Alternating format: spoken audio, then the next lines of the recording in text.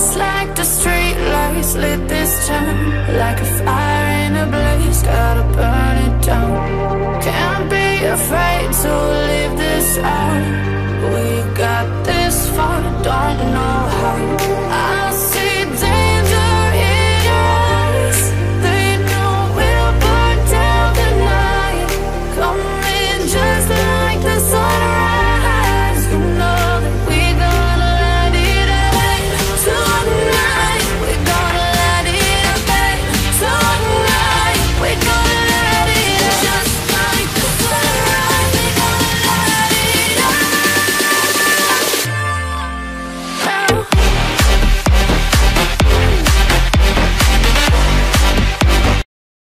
Right guys, so RetroArch is now installed.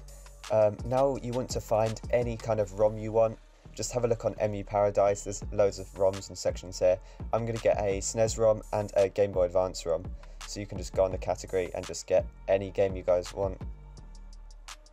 Once your ROMs are downloaded, you just want to check they downloaded successfully and it's the correct file.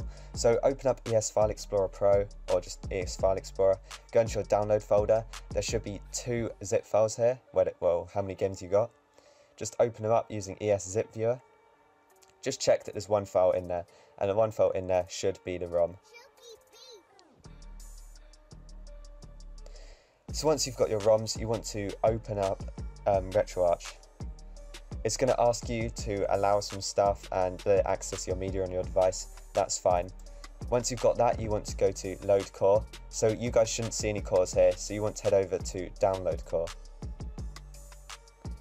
Right, so once you're on download core, you want to scroll for the two cores that you've got. So I've got a Game Boy core, so all you have to do is just tap it to install. As you can see, it's installing down there.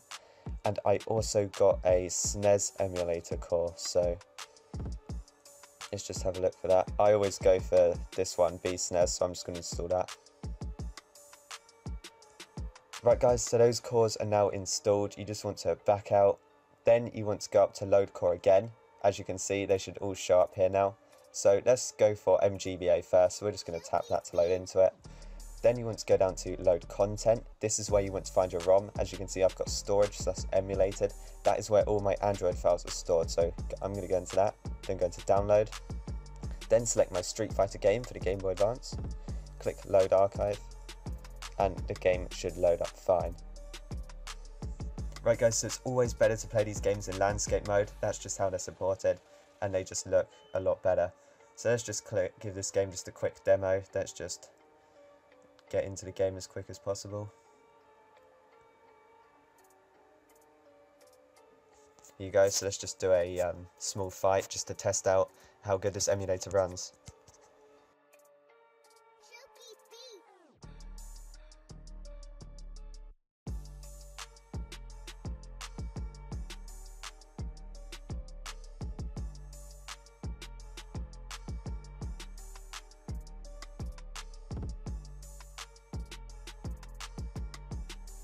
There you go, so that was very fast. The knockout, I won that one. So if you guys want to exit your ROM, you just want to have a look at the top, you can actually see a small RetroArch icon. You just want to tap that. So once you tap that, it's just going to back out to the RetroArch menu, and you guys can just hit the close content option. Then you can just go back, and you'll notice that you're back on the RetroArch home screen. Right guys, so now let's just give that um, SNES emulator a try. So let's go up to load core up here. Now we're going to choose SNES instead of the Game Boy Advance. Then we're just going to go down to load content and we just want to find our game again. So here it is Super Mario World. Let's just go on to load, load archive, current core.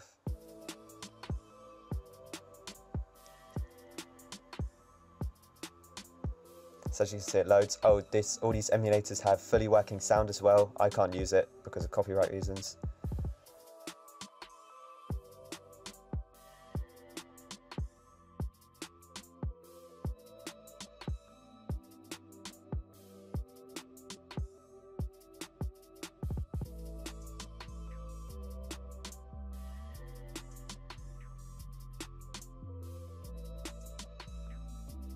Right guys, so that's pretty much it for this video. As you can see, there's lots of other options you guys can browse and have a look at.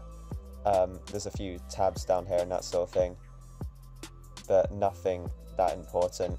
This is just very basic for actually playing the games. So if you guys enjoyed this video, please like and subscribe, and I'll see you guys.